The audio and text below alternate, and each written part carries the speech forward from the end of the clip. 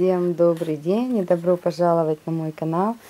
И сегодня я вам покажу, какие куклы у меня готовы.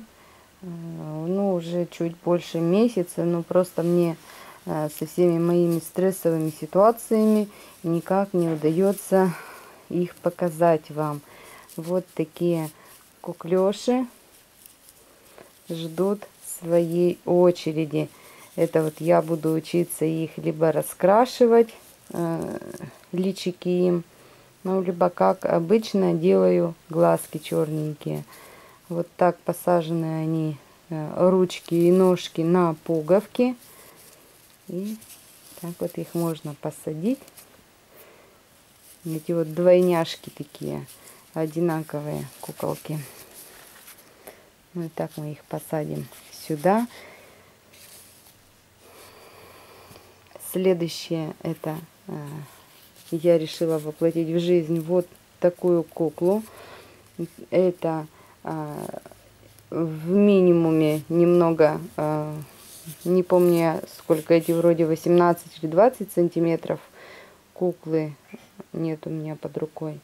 Не отмечено. Вот это вот 25 сантиметров ростиком. В общем, видно, что она совсем такая вот маленькая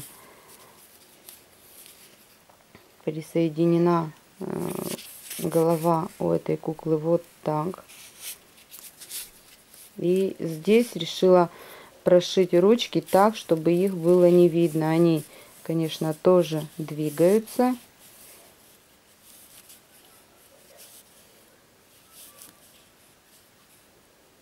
Вот. Без опоры ей не очень удобно, конечно, сидеть. Вот мы обопрем ее вот на эту куколку.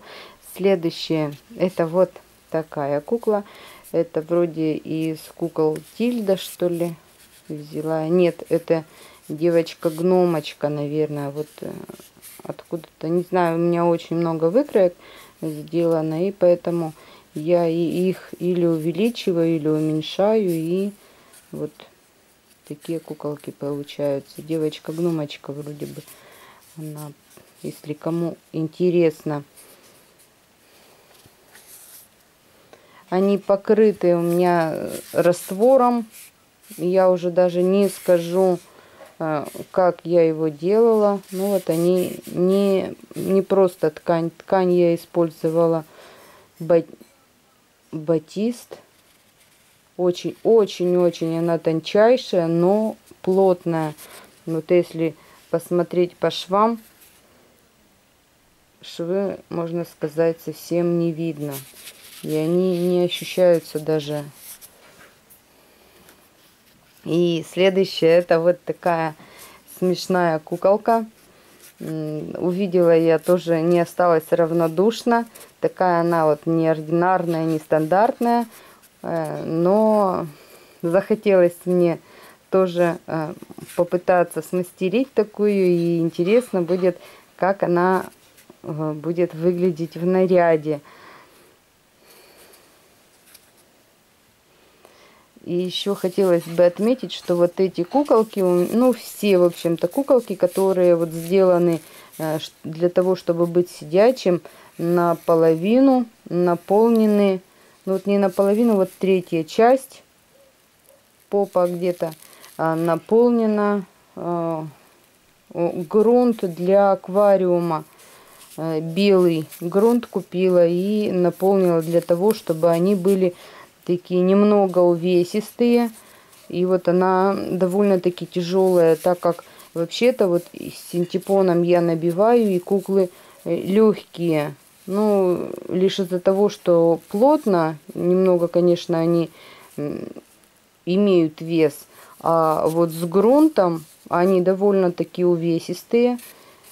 И вот очень удобно их садить. За счет этого они очень хорошо сидят. Вот эти вот, особенно куколки. Ну и еще какую я хочу вам показать. Но это у меня не готовый вариант. Это еще такой полу, полуготовый. Здесь я наполнила в центре вот этим грунтом. То есть вот здесь вот синтепон. Э, это для того, чтобы, когда я буду пришивать ножки, было удобно пришивать не к грунту, а к синтепону. Ножки еще в недоделанном варианте. Вот здесь э, стопу нужно пришивать. Вот ножки. И ручки точно так же ждут еще. Ждет эта куколка своей очереди для того, чтобы ее вообще доделали. Головы пока что еще нет.